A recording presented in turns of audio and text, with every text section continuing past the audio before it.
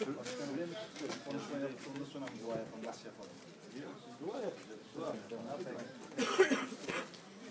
Amin. Euzu billahi mineşşeytanirracim. Bismillahirrahmanirrahim.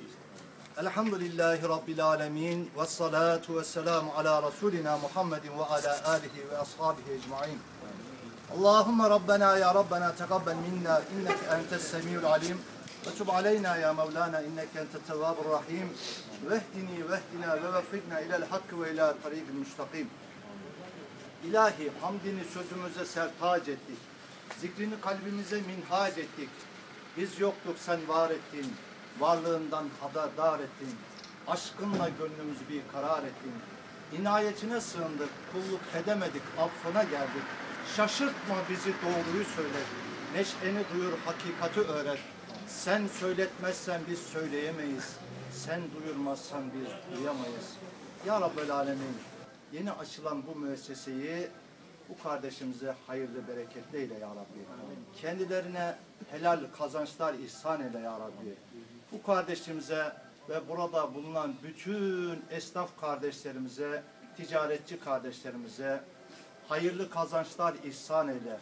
Hayırlısıyla yiyip içmeyi ailelerine akşamleyin helal paralar götürmelerini nasip ve müessir eyle.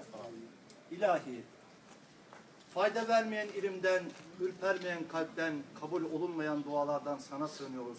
Senden sağlık, sıhhat, afiyetin en güzelini.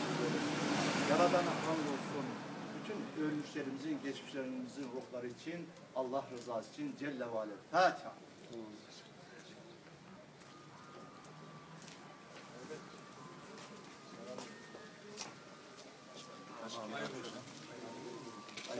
Ana çikolata, şeker, pasta. Birkaç kelam duş yap. Su aldıkça berberler de su aldı. Sağ olasın. Teşekkür ederiz. Teşekkür ederiz. Hayırlı mübarek olsun inşallah. Bisküvi yok mu?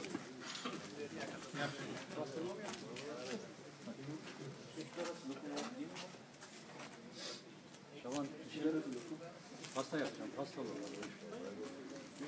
Öğlen adresi bildirse de olur abi. Fark etmez. abi öğlen nerede yiyeceksek